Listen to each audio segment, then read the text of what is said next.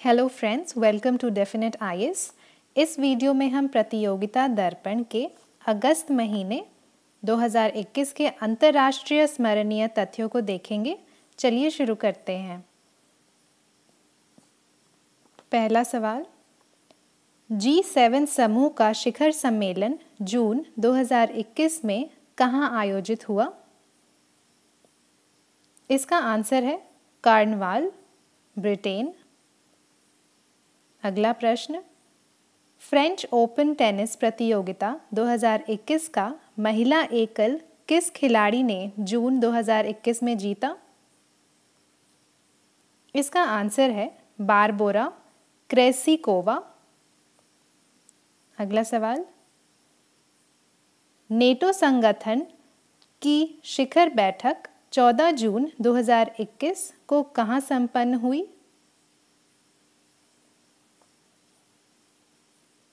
इसका आंसर है Brussels, Belgium. अगला सवाल देखते हैं। 14 जून 2021 को संयुक्त राष्ट्र संघ को मरुभूमि यानी रेगिस्तान से संबंधित किस कन्वेंशन की वर्चुअल मीटिंग संपन्न हुई? इसका आंसर है UN convention to combat desertification, UNCCD. Next question देखते हैं. संयुक्त राष्ट्र जनरल असेंबली के सितंबर 2021 में प्रारंभ होने वाले सत्र का अध्यक्ष कौन निर्वाचित हुआ? इसका आंसर है अब्दुल्ला शाहिद. अगला प्रश्न देखते हैं. आईसीसी की पहली वर्ल्ड टेस्ट चैंपियनशिप जून 2021 में किस राष्ट्र की टीम ने जीती? इसका आंसर है न्यूजीलैंड। अगला प्रश्न।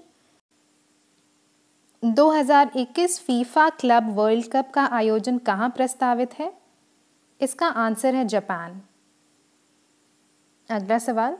इसराइल में जून 2021 में कौन क्रमशः राष्ट्रपति और प्रधानमंत्री निर्वाचित हुए?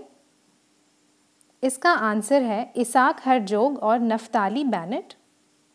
Next question Iran में जून 2021 में किसे राष्ट्रपति निर्वाचित किया गया है? इसका आंसर है इब्राहिम रईसी। अगला प्रश्न देखते हैं। भारत जून 2021 में किस संयुक्त राष्ट्र संघ की संस्था का सदस्य निर्वाचित हुआ है? इसका आंसर है UN economic and social council. अगला प्रश्न। संयुक्त राष्ट्र संघ की महासभा ने जून 2021 में किसे सुरक्षा परिषद की संस्तुति पर संयुक्त राष्ट्र महासचिव नियुक्त किया है? इसका आंसर है एंटोनियो गुटरेस। अगला प्रश्न। किन दो भारतीय मूल के पत्रकारों ने जून 2021 में पुलित्जर पुरस्कार प्राप्त किया है? इसका आंसर है मेघा राजगोपालन और नील बेदी। Next question. भारत के किस पूर्व क्रिकेट खिलाड़ी को 1940 से 1970 के काल के लिए आईसीसी हॉल ऑफ़ फेम में से सम्मानित करने के लिए निर्णय जून 2021 में लिया गया है। इसका आंसर है वीनू मनकड़।